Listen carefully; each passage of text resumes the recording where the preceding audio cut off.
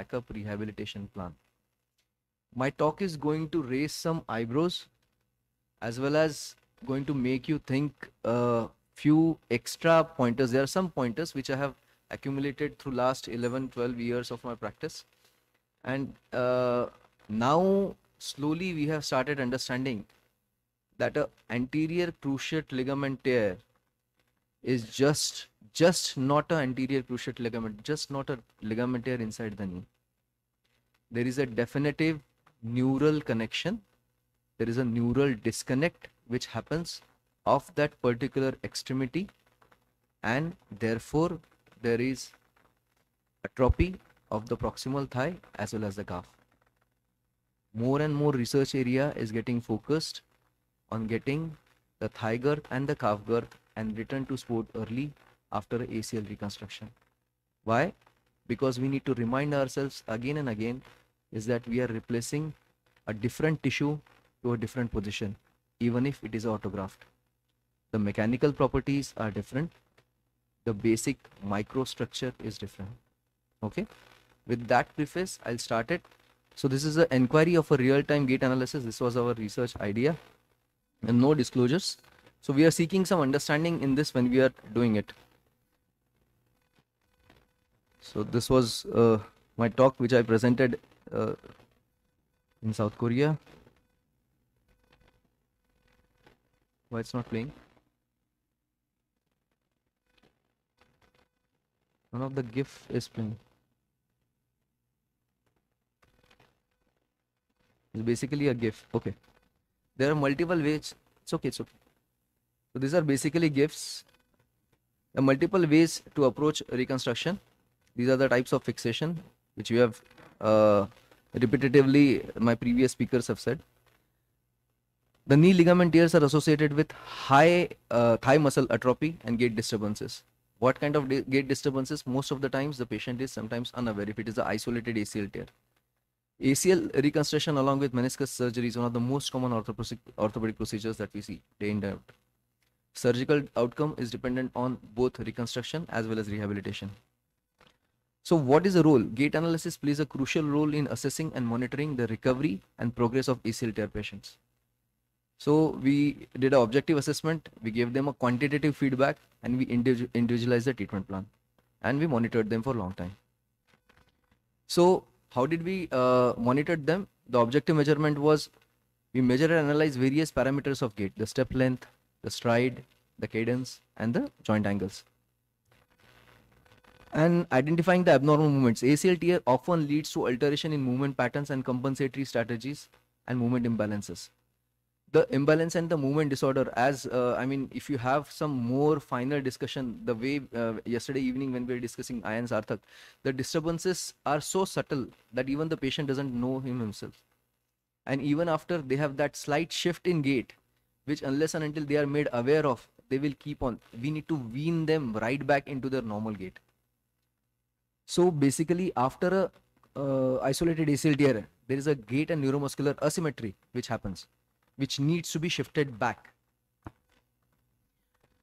It helps basically why we need to assess the gait. It helps in us to determine the effectiveness of rehabilitation after you have reconstruct, after you have done a wonderful anterior cruciate ligament reconstruction job.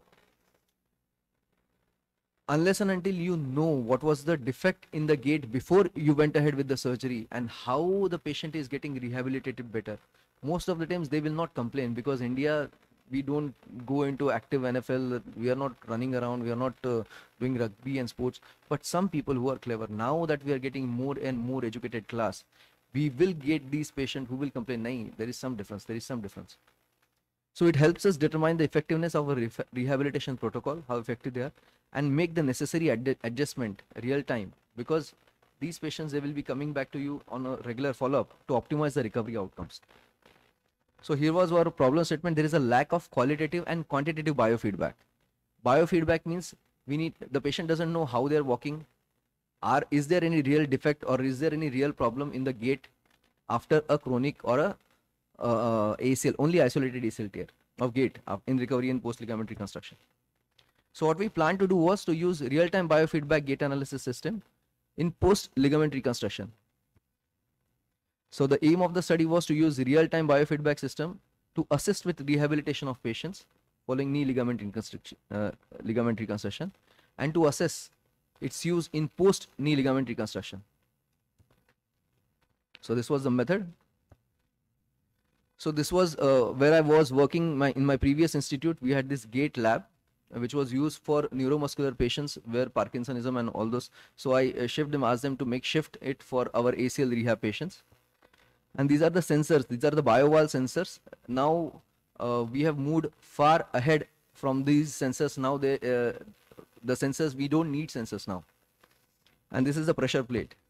So what we do is that these joint sensors, of course, for uh, uh, I mean, I mean, to, for the display purposes, usually the patient is uh, made to undress, and the sensors are attached directly to the joints. Video.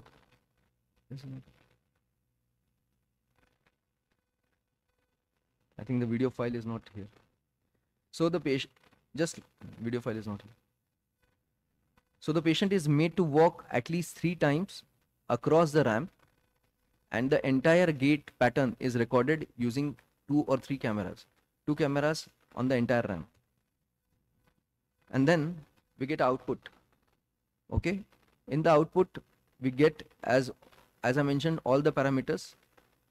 When he puts his feet on the pressure plate, we can calculate how much amount of weight he is bearing whether the weight distribution is equal on both lower limbs. Is there any excessive external rotation for which the anterior lateral ligament reconstruction play, comes into play? And how much is the stride length? What is the pattern? Is there any limp? All those things get recorded. What is his postural sway? Is his trunk swaying to one side? So for this particular study, we only consider the weight bearing time on the legs during the gait cycle and the mean weight distribution when both feet were placed on the pressure plate and the data was obtained before surgery and at 3, 6 and 12 months after surgery. And the data was then reviewed and tested using SSPS. So this is for demonstrative purposes. And this gives, a, that's how we get our quantitative feedback. So these are the results. The mean distribution of the affected side was less as compared to the normal side in almost 75 to 100% of the patients if you have got a chronic acu- uh, chronic isolated ACL tear patient, he has gait disturbance.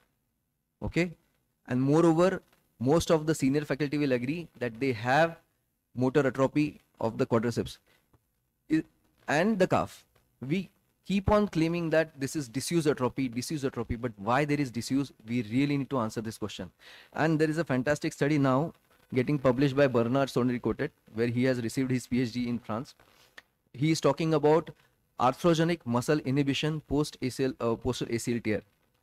So, to further this study, there was a reduction in the mean weight bearing time and the mean weight bearing distribution on the affected side, which was statistically significant in all preoperative patients. After three months, 60% of the patient with biofeedback, biofeedback in the times when we made them aware that you are putting less weight we put a mirror and we had them with a regular rehabilitation protocol. The normal uh, as compared to the normal group 2 after 6 months group 1 showed normal weight distribution pattern and 70% of the patient in group 2 showed normal weight distribution pattern. But the difference between both them the patients who received biofeedback and those who did not receive biofeedback it nullified after 12 months. The point which i'm trying to take it home is that patients who received gait analysis based biofeedback recover faster. The patient with ACL tear were putting less weight on the affected limb as compared to the opposite side. Biofeedback group showed faster rehabilitation in three months. Limitations are we have got a small sample size. Of course, in India, our patient compliance is an issue. So, uh, certain unanswered which remain is why there is a difference in weight distribution and thigh girth. So this is the uh, literature. It's an online summary of his entire research. He has put it. It is in French. The subtitles are available. I uh, request you all to see this particular topic. It's very, very inquisitive. There is huge talk which is going on right now.